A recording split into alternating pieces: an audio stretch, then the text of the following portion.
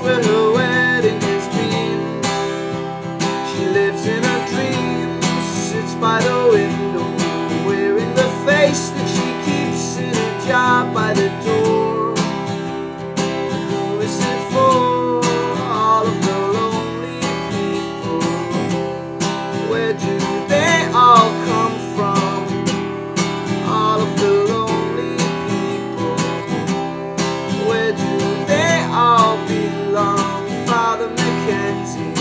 Writing the words for a sermon that no one will hear.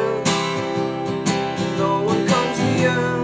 Look at him working, donning his socks in the night when